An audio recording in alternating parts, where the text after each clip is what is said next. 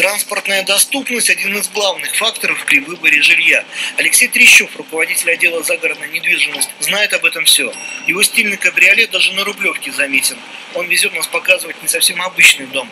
Вне клубного поселка и далеко за МКАДом. Всего 6,5 миллионов долларов. Им уже активно интересуются. Слухи о падении продаж, говорит Трещев, сильно преувеличены.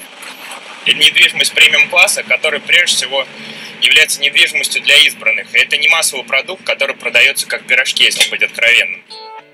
Дому всего год, но он идет по статье «Вторичка». Здесь живут и сейчас. Выбеленные стены, дубовые двери, исключительно экологические материалы и никаких лишних изысков. Дом на любителя русской природы и русской деревни загородная недвижимость это как раз скорее эмоциональная покупка. Это, как правило, там товар второй, а то и третьей необходимости. Поэтому, когда мы говорим с вами о покупке городского элитного жилья, то мы все-таки склонны к некой прагматике. Когда мы говорим о загороде, то тут самое главное, чтобы вам нравилось. Названия коттеджных поселков звучат как ценники. Здесь продаются не больше